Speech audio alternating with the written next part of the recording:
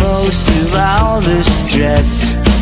I try to live without regrets But I'm about to break a sweat.